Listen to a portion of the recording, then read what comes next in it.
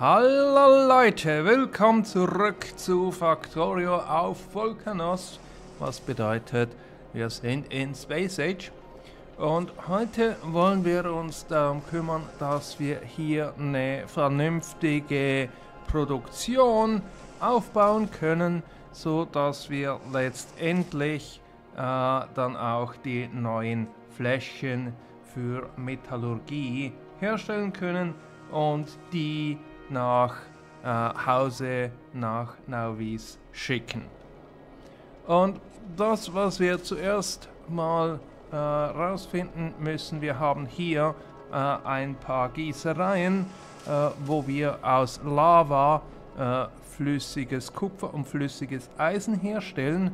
Ähm, und da drüben haben wir dann Verarbeitung von verschiedenen Schritten. Aber bisher habe ich mich nicht wirklich darum gekümmert, äh, wie sieht es da mit den, den richtigen Verhältnissen aus. Und das wollen wir heute ändern. Äh, wenn wir schauen, eine Pumpe, die pumpt 1200 die Sekunde und so eine Gießerei wandelt 150, äh, 125 die Sekunde um. Das heißt, dass die Pumpe kann etwas mehr als 9 Gießereien bedienen. Und eine Gießerei hat dann einen Output von 93,7 die Sekunde. Und wenn wir hier mal schauen, die verschiedenen Rezepte äh, für Eisen, äh, da haben wir, brauchen wir 25 die Sekunde. Das heißt, für Eisenplatten könnten wir drei äh, Gießereien anschließen an eine äh, pro, pro äh, Gießerei für flüssiges Eisen äh, und ich glaube für Kupfer ist das genau gleich. Ähm, Stahl sieht etwas anders aus. Da sind es 37,5. Das heißt, da haben wir etwas höher. Wir können äh, drei Stahl an einer, einer äh, Flüssigeisengießerei funktioniert nicht, aber was funktioniert ist zweimal Eisenplatten, einmal Stahl äh, und wir haben immer noch etwas flüssiges Eisen äh, übrig. Äh, wir können auch direkt äh, die, ähm, die Zahnräder herstellen. Da brauchen wir 40 die Sekunde. Ähm, und wenn wir ähm, die Stäbe herstellen, da sind es 80 die Sekunde. Der Output ist aber auch höher. Also für die da ist dann quasi 1 zu 1. Wenn wir hier äh, die äh, Leichtbaumetall äh, anschauen, Leichtbauteile, da sind wir bei 21 und bei 60. Und hier bei den Kupferdrähten sind wir wieder bei 20. Und wir können hier dann aber auch die äh, Fließbänder herstellen, aber die funktionieren nicht direkt aus Eisen, das heißt, das macht hier wenig Sinn. Aber äh, ich glaube, die, das typische Verhältnis von Umwandlung Lava in flüssiges Metall zu Maschine, die es verarbeitet, ist in etwa 1 zu 3. Äh, wir haben da ein paar Ausnahmen. Ähm, mit äh, natürlich da, wo wir Kupfer brauchen äh, für die Leichtbauteile, da ist es 1 zu 1. Hier ist es auch 1 zu 1. Ähm, und ansonsten äh, recht ausgewogen. Äh, was wir hier mit diesem Setup äh, bisher machen, ist, wir werfen all unseren Stein weg und vielleicht ist das ein bisschen eine ne Verschwendung. Wir können ein bisschen Stein auf die Seite legen, wie wir das hier tun. Ähm, aber dann auch Stein in, ein, in Öfen geben, so dass wir Ziegelsteine rausbekommen. Und das möchte ich hier. Ähm, hier haben wir etwas, äh, etwas Platz. Ähm, wir können hier etwas aufräumen. Dann können wir hier ein Setup haben, wo wir Lava aus dem See pumpen, das in, ähm, in äh, flüssigen in, in flüssiges Metall umwandeln. Vielleicht war das etwas vorschnell.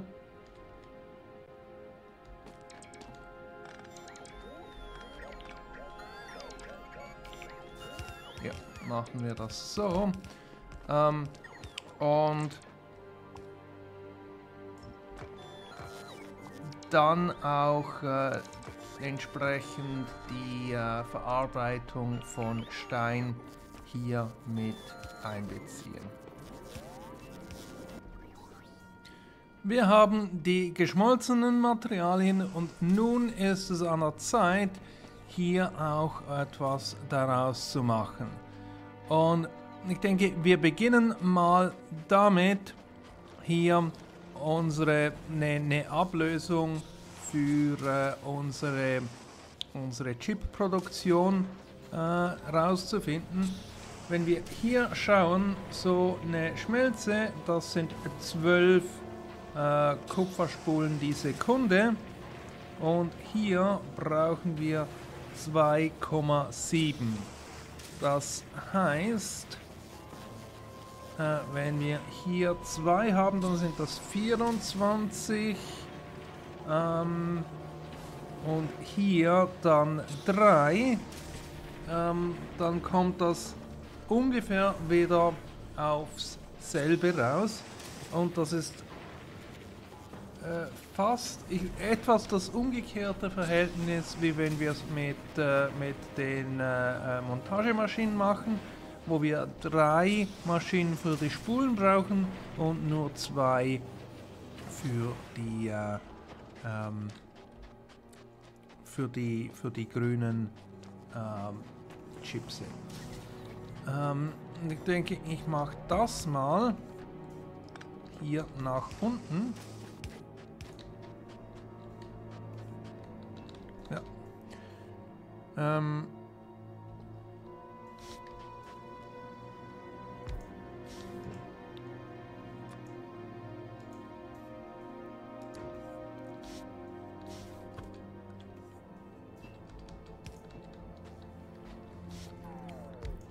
Hier brauchen wir zwei Stück.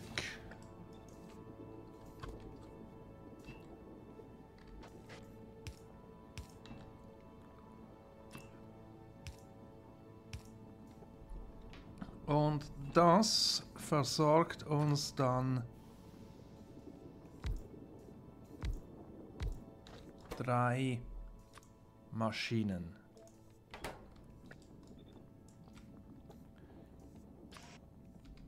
Heißt, wir haben das in etwa so. Und dann hier machen wir das so. Und dann kopieren wir das Ganze nochmal mit den mit den Rohren.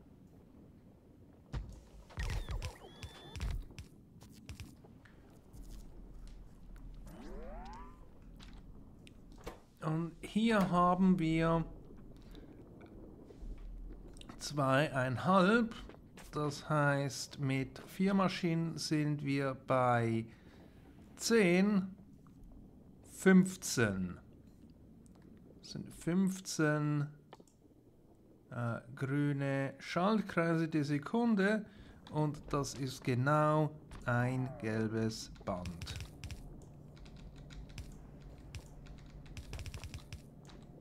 Sehr schön. Wie sich das ausgeht.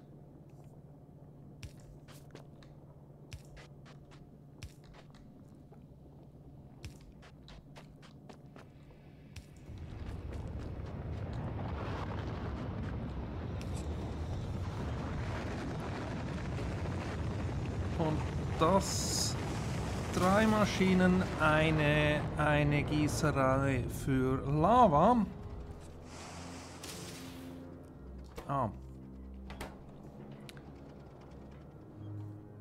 Und was wir hier noch brauchen ist Eisen. Wir brauchen auch Eisenplatten. Die machen wir hier.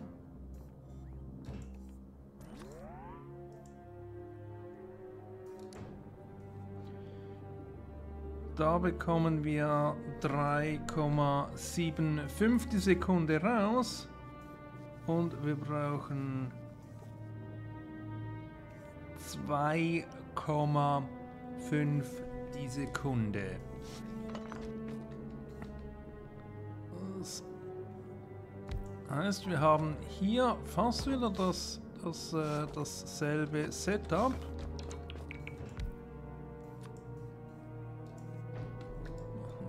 So.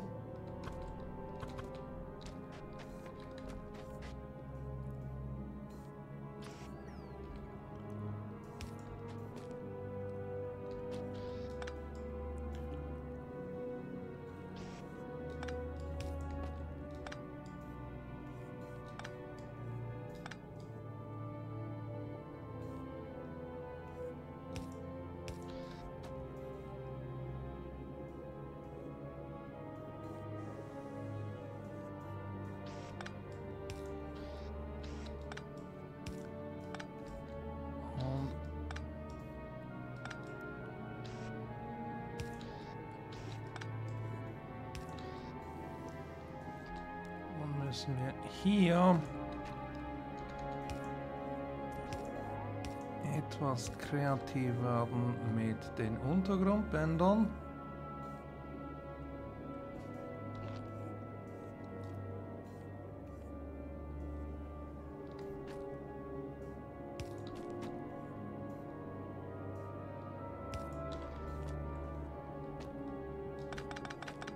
Mach das mal nochmals weg, so dass wir dann hier auf dieser Seite, da brauchen wir Eisen.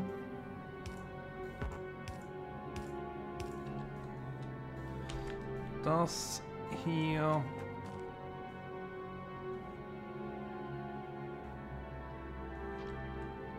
auf dieser Seite auch nochmals kopieren können mit den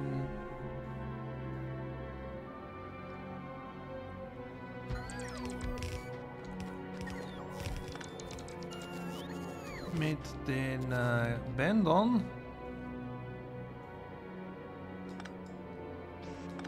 Die wir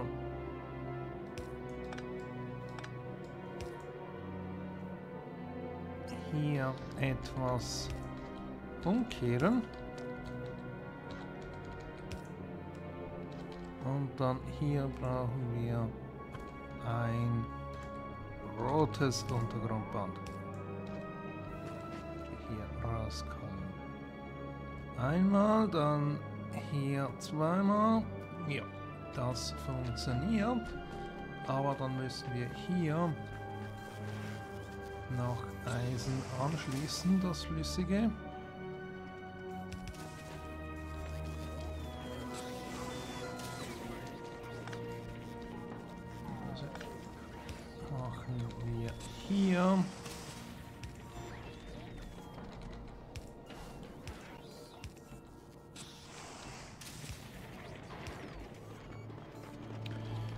Und Eisen, da produzieren wir etwas mehr, als wir benötigen.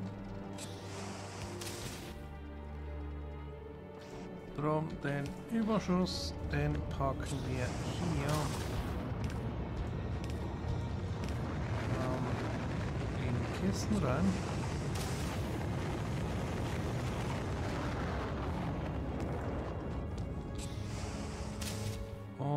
Dann brauchen wir noch Robopod. Und wir haben die grüne Produktion abgedeckt. Für die roten, da brauchen wir 0,83 Kabel pro Maschine und wir haben 12 die Sekunde.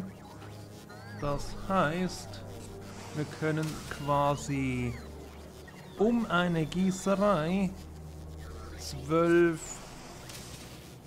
äh, 12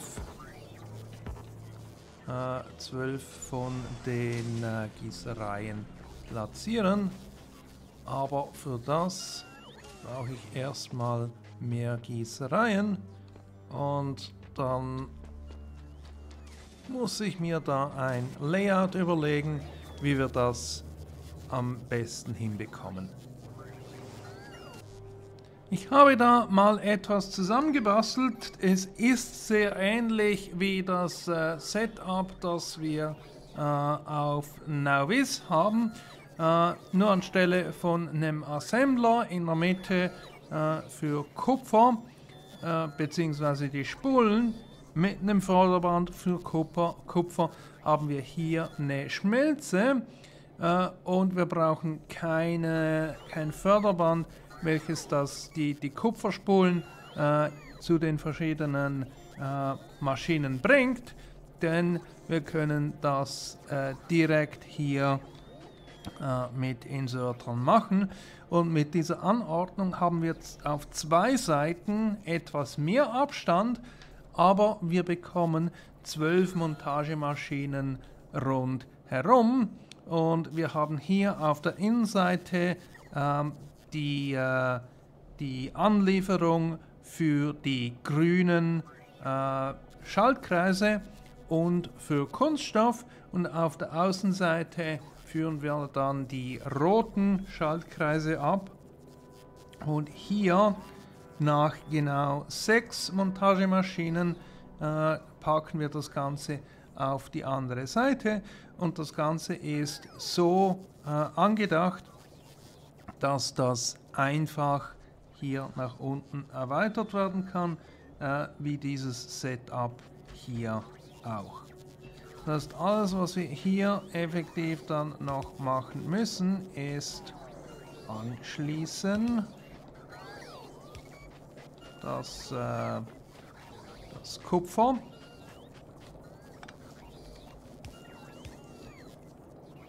Das Flüssige.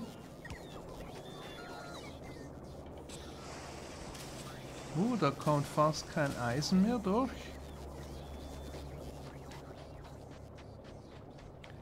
Und dann hier packen wir das ran.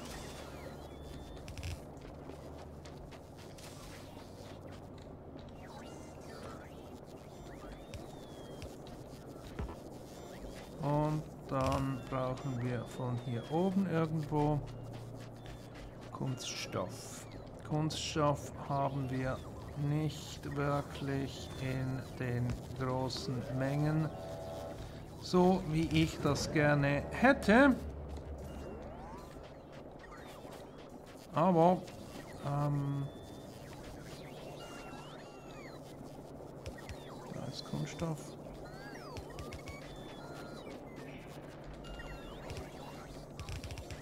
Das hier so machen.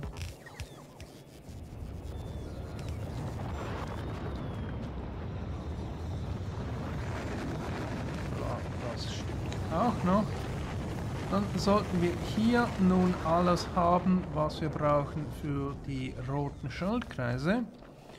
Und dann müssen wir mal schauen, wo liegt es dann, dass wir da zu wenig ähm, zu wenig Eisen, flüssiges rausbekommen, haben wir zu wenig Schmelzen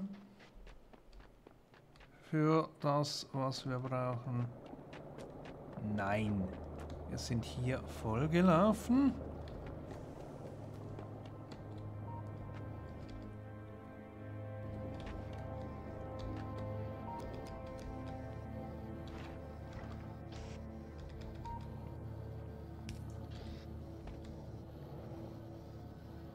versuchen wir das hier etwas zu beschleunigen mit einem zweiten Greifarm. Denn wir scheinen hier zu viel Stein zu produzieren, äh, dass wir hier einen, einen Rückstau haben.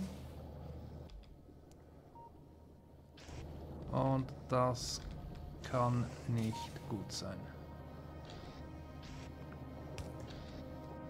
Wenn wir das dann hier noch so machen, dann sollten wir das genügend Shell hier vom Band wegbekommen.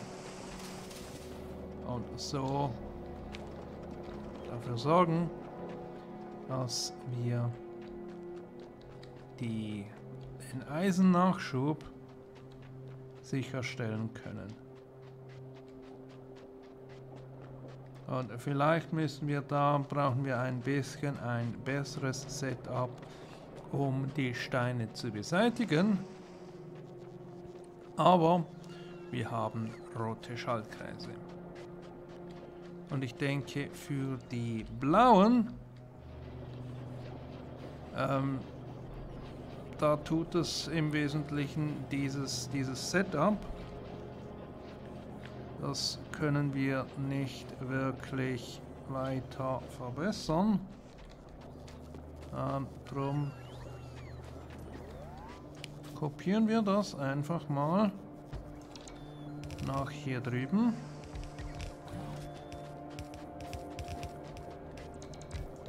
Machen da noch einen, einen äh, Roboport dran.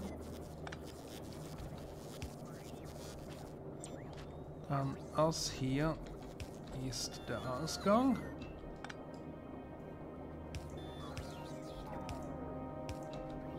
Hier brauchen wir die Schwefelsäure. Da brauchen wir rote Schaltkreise.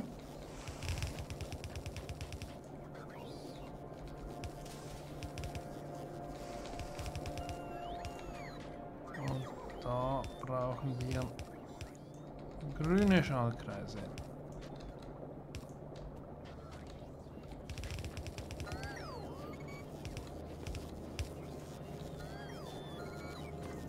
Splitter hier.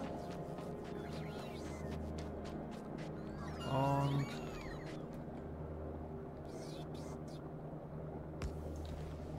Umspannwerk.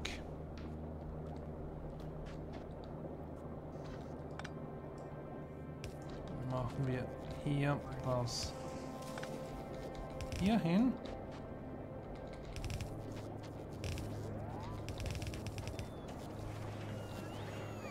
Und dann brauchen wir das nicht mehr, das nicht mehr, das nicht mehr, die nicht mehr, die nicht mehr, das nicht mehr. Also, ja. Und wir brauchen auch all das nicht mehr. Das nicht mehr. Was wir noch haben wollen, ist hier am Ende, wenn wir da noch was übrig haben, dann packen wir das in Kisten, denn wir werden es benötigen. Und wenn wir da was haben, packen wir das auch in eine Kiste, begrenzen das aber äh, auf drei Stacks. Dann können wir hier die Rohre entfernen.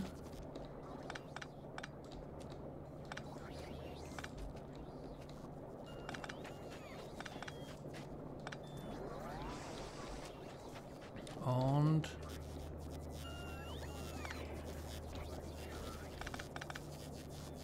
dann hier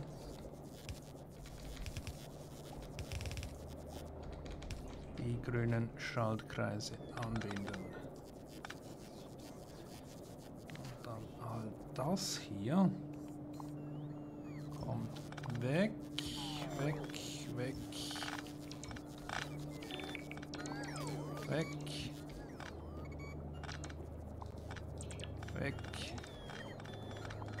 weg. Ah, die belassen wir vielleicht. Kommen oder später sowieso weg. Das hier brauchen wir auch nicht mehr. Und dann haben wir eine anständige Chipsproduktion aufgezogen, sofern wir hier mit unserem Kunststoff äh, Schritt halten können, ähm, denke ich, haben wir, sind wir in einer besseren Situation, als wir vorher waren. Und nächstes Mal müssen wir uns anschauen, ähm, was machen wir denn für die Produktion, für die Metallur metallurgische Verarbeitung. Also, bis zum nächsten Mal und tschüss.